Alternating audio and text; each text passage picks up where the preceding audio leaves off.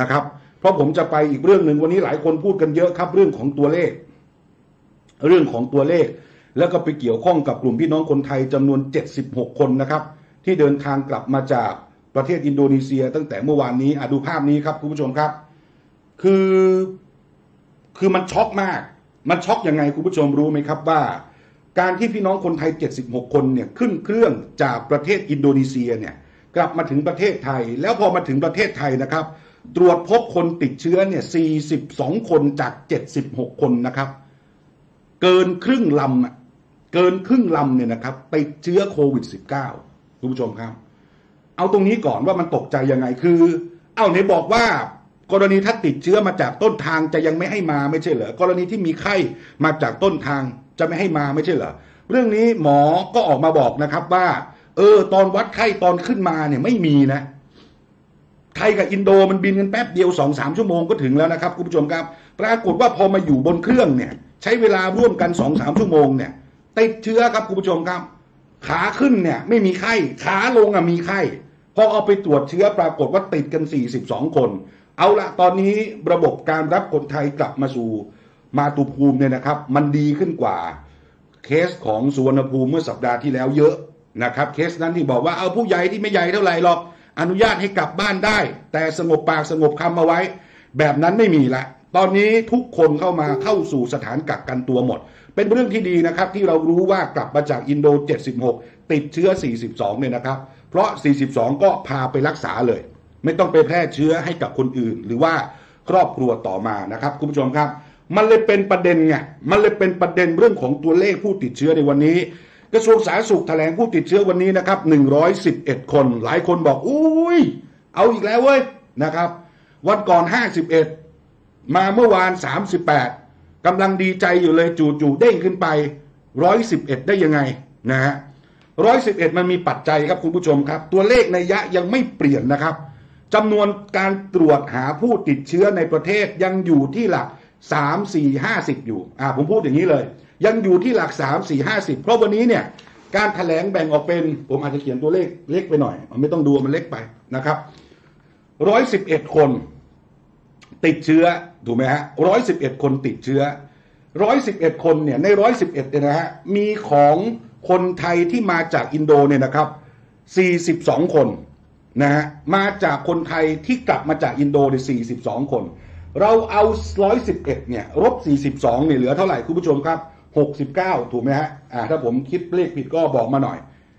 ถ้าเอา111ลบ42เนี่ยจะมีผู้ติดเชื้อในประเทศเนี่ยนะที่ไม่เกี่ยวข้องกับคนไทยที่อินโดกลับมานะ อันนั้นแยกส่วนไป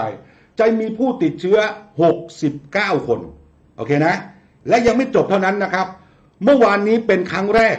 ครั้งแรกของจังหวัดภูเก็ตนะครับ ครั้งแรกของจังหวัดภูเก็ต ผมจำไม่ได้ว่าที่อำเภออะไร แต่มีมีสองอำเภออะอำเภอแรกน่าจะชื่ออำเภอกระทู้นะครับ คือเจ้าหน้าที่เพิ่มประสิทธิภาพในการตรวจโควิด -19 ที่อำเภอกระทู้และอีกอำเภอหนึ่งผมจำไม่ได้ คือเจ้าหน้าที่บุกเข้าไปหาเลย ที่ผ่านมาเราตั้งรับคุณผู้ชมนึกออกไหมฮะที่ผ่านมาเราตั้งรับ ตั้งรับยังไงก็คืออยู่กับที่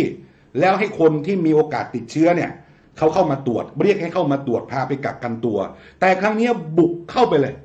ในพื้นที่สีแดง ซึ่งหนึ่งในนั้นก็คือกระทู้กับอีกอำเภอหนึ่งของจังหวัดภูเก็ต พอใช้วิธีการบุกเข้าไปตรวจเนี่ย ปรากฏว่าตรวจเจออีก 14 คน 14 คนแม้จะติดในประเทศนะครับคุณผู้ชมครับ แต่เป็นการบุกเข้าไป ในพื้นที่ที่มีการล็อกดาวน์เอาไว้นะบุกเข้าไปในพื้นที่ที่มีการล็อกดาวน์เอาไว้นะครับ ไปเจอ 14 คน เพราะนั้นเนี่ยมันเป็นการตรวจแบบใหม่ ก็ต้องเอา69เนี่ยลบ14อีกนะครับ เพราะมันเป็นวิธีใหม่ถูกไหมฮะ69ลบ14เนี่ยก็เหลือ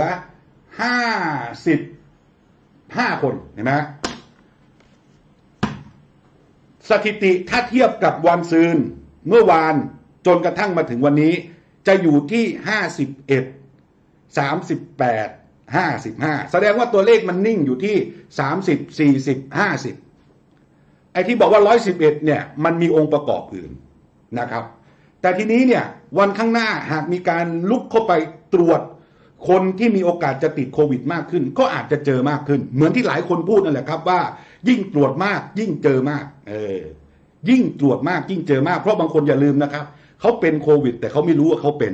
และที่สำคัญพอเขาเป็นปุ๊บเนี่ย ร่างกายเขาแข็งแรงมาก ดันหายเองซะอีก แต่เขากลายเป็นพาหะเอาเชื้อไปแพร่ให้กับคนอื่น ซึ่ง เป็นเรื่องที่อันตราย ซึ่งเป็นเรื่องที่อันตรายนะครับ ใช่ไหมคุณผู้ชมบอกว่าที่กระทู้กับป่าตองผมเหมือนกับไม่คุ้นนะป่าตองเนี่ยที่เขาสุ่มตรวจกันตามที่ผมว่า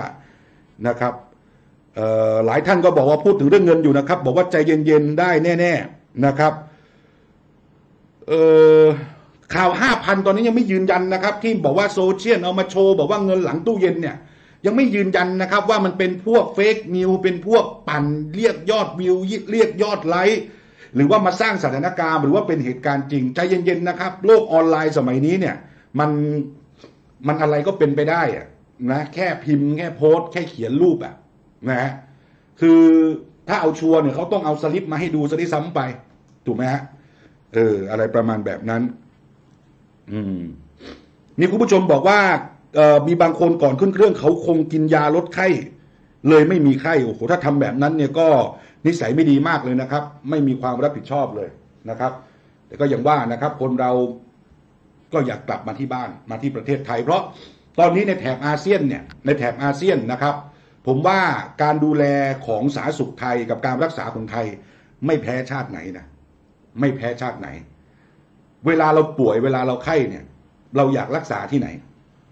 ผมว่าใครๆก็ต้องอยากรักษาที่ประเทศของตน หรือประเทศที่มันดูเจริญมากๆกว่า เพราะอย่างน้อยเราก็คุยกันรู้เรื่อง เราถามหมอได้ เราคุยกับแพทย์ได้ เราคุยกับพยาบาลได้ คุยกับคนนั้นคนนี้ได้ ลองไปรักษาที่ต่างประเทศสิครับเขาก็ต้องดูแลคนของคนคนของประเทศเขาไว้ก่อน ก็ไม่แปลกใจถ้าหลายคนจะพยายามกินยาลดไข้ เพื่อเข้าประเทศเพื่อมารักษาในประเทศไทยของเรา แม้ว่าจะถูกประนามก็ตามแต่นะฮะคุณผู้ชมครับ